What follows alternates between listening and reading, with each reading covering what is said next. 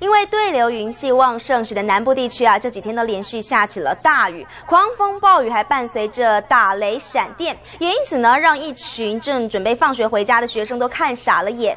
而封面南移，雨势现在稍缓，不过带来的这个气的水汽呢，还让温度骤降。淡水呢，在昨天最低温就只有十六点五度，而预计在清明节的三天连续假期，气温会爽朗舒适。哎，这是怎样？下午四点，高雄才女大学的学生准备回家的时候，却被突如其来的雨势给困住。大雨伴随着强风，还不断的打雷，就算站在教室的走廊，还是被雨淋的全身都湿透。根本就是台风天嘛。